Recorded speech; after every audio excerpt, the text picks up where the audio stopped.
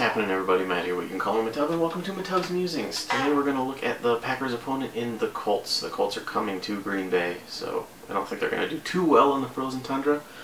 We're going to take a look at the injury report. We're going to look at strengths versus weaknesses, all that kind of stuff. And first things first, looking at the Packers' injury report, we are not going to have Damarious Randall or James Starks, or our starting center, J.C. Tretter.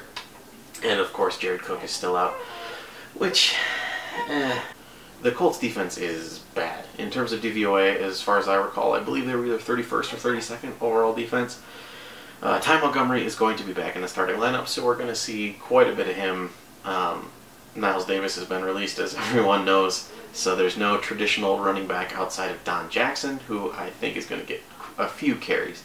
He's not he's not a, the best running back in the world, but at least he is a true running back who can carry the ball between the tackles.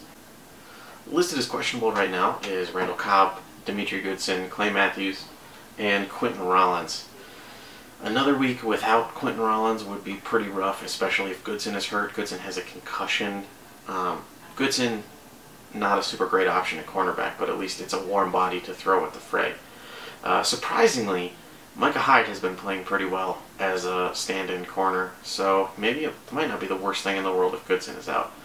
Having Clay Matthews as questionable is pretty rough. However, the Colts have a terrible offensive line, so I really think that Peppers, even in a limited role as a pure pass rusher, or Nick Perry are going to be able to get to Luck. And as long as they can set the edge and keep it from getting outside the pocket, it really shouldn't be too hard for the Packers pass rush to really take it home.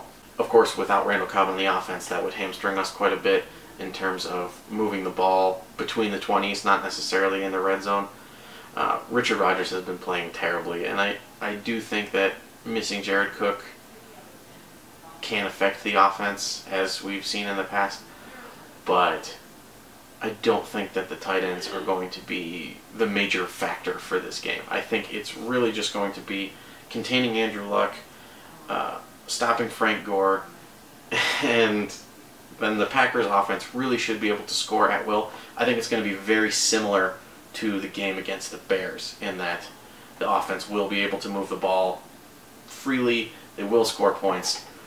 Overall, I think it's going to be, I'm not going to say a romp, and I'm not going to say a blowout, but I think it's going to, the score is going to be a lot closer than the game looked.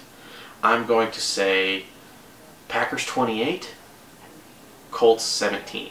All right, guys, that should do it for Matub's Musings. A much better prediction than last week, in which I predicted a Packers loss by a touchdown, but we lost by one point. So I wasn't too far off, and they did a lot better than I expected.